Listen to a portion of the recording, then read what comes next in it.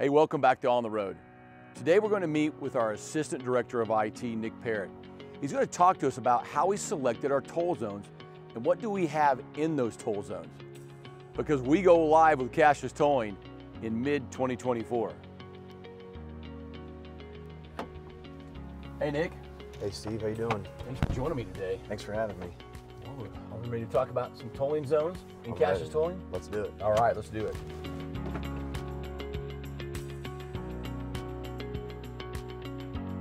One question I always get is how did you select the zones and the location of those zones?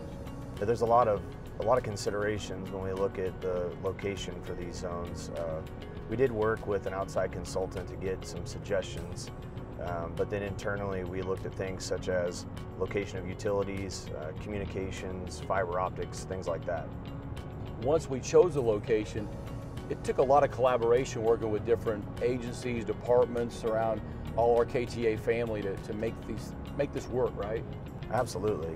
It's not just the technology side of things, but um, our teams within IT worked very closely with our engineering staff, um, external parties, civil construction groups, uh, from placement of conduit in the ground to uh, cuts in the pavement for the different type of infrastructure that are in the zones. There's a lot of different um, pieces there that have to come together. Part of what we're going through right now as we as we work through these zones, getting all the equipment physically installed, are what we call an installation and commissioning test. So once the vendor has everything installed and tuned, uh, there's a set script that we've approved of a set of different tests that they'll run. Uh, anything from making sure the vehicles are classified correctly as they move through the toll zone, to reading a transponder correctly, uh, the ability to read multiple transponders, and last but not least, things like images. Uh, you know, for our customers who may not be a transponder-based customer. So for folks that are wondering, hey, what, what, what is he talking about? Image? He's taking a picture of my car? Am I, what, what, what is an image so everybody understands that? Good question. So as you move under the toll zone, there's several cameras that'll take pictures of your vehicle. Most importantly, it takes a picture of your license plate.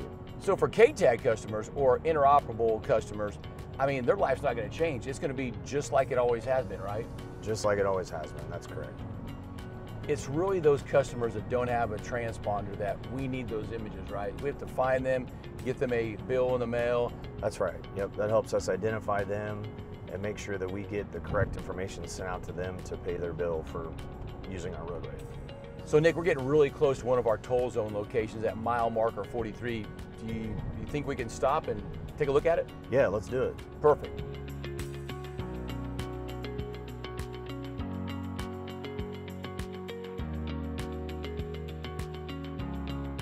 It's looking like something. I'm, I remember just a few months ago, we were just seeing stuff come out of the ground and we can actually see infrastructure.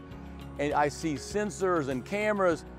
There's a lot more here though. What's going on here? Oh yeah, they made a lot of progress in the last month or two. So we've got everything like you said it. You've got sensors in pavement and above uh, that'll do everything from classifying vehicles to triggering the equipment above. Multiple sets of cameras up top uh, for front capture of license plates and rear license plates. Um, in addition, our, our K-tag antennas up there for our transponder-based customers. But you're not wrong. There's a lot of equipment that's gone up here recently. So I see this big black sign up there. What the heck is that? That's one of our DMS signs. Uh, those are those are what we use to communicate with our traveling public along the roadway. Uh, our incident management center can control those remotely. Everything that took to, I mean, you've got the fiber optics, the, the, the electric, all this stuff that takes, all the guts is right here. But I see some of these lines right here. What, what the heck are these things in the pavement? One of the things that we talk about in the pavement is the loops in the road. So there's two sets. There's a set for classifying a vehicle so we know how many axles it is, so we know what to charge accurately. And then there's a set that helps with the triggering of the cameras for the images that we take. Hey, so I appreciate you coming out today talking to me about all the things in the zone, but you got more work to do, right? Absolutely. I better get you back so you can get back to work get us, get us done on time. All right, let's go. go. Thanks, Nick, for a behind the scenes look at what's going on at our new toll zones. We have lots going on as we get focused on going live in mid 2024. and we'll continue to provide you guys updates as we get closer. Thanks for watching, and until next time, I'll see you on the road.